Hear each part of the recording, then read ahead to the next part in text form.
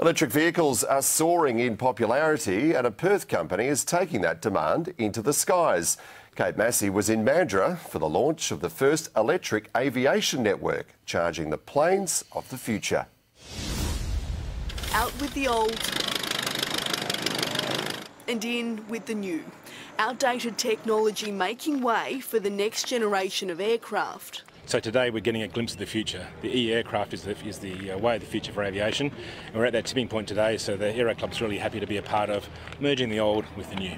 It's a first step in a long line of activating more and more chargers in regional and metro airports in Australia so that we've got more places to fly electric aircraft. Experts say the smart technology will make them safer for those on board, they're better for the environment and perfect for short flights. Their charging time is similar to flight times. For years we've been establishing this and building the network and uh, finally it's good to have multiple aircraft here operating in Western Australia, multiple charge nodes. Today a step forward at Murrayfield Aerodrome in Mandurah.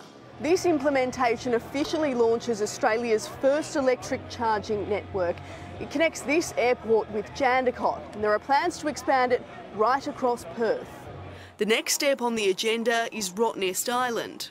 We'll have a lovely little network north, south, and uh, over the ocean in Perth to fly electric aircraft and recharge and give recreational electric aviators a really beautiful flight experience. Aviation is a really important sector for Western Australia and for the world, and we're keen to be leading that, uh, leading that charge and leading the development of uh, e-aircraft. Charging ahead to a greener future.